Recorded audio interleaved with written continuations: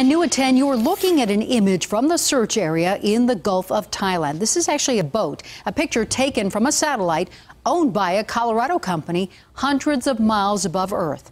Mark Stewart is live with how this company is helping with the search. Mark? And the company is called Digital Globe. It is the same people who power Google Earth. This is an image off the Gulf of Thailand from around 10:30 in the morning.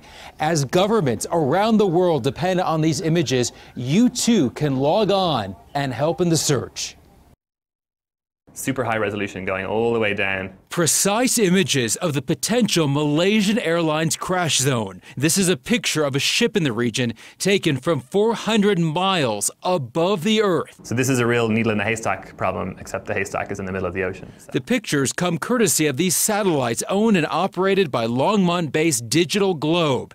As experts around the world review the photos, so too are strangers on the website TomNod and we'll ask you to mark anything that looks interesting, any signs of wreckage or life raft. Even you can log on and look at the view from above and look for clues. It's a concept called crowdsourcing. Now, thousands of people are also helping you in real time to kind of get through this entire image. The sky high screen grabs have helped to track the destruction in other disasters, including the tornado in Moore, Oklahoma, even the epic floods here at home. In many cases, the areas covered are so large or the things that we're looking for are so hard to find that without the help of hundreds or thousands of people online, we've never be able to find them. And I'm told professionals really do depend on those tips generated by everyday people on TomNod.com. If you'd like to help, we have a link for it on the 7 News app. Reporting live tonight, Mark Stewart, 7 News.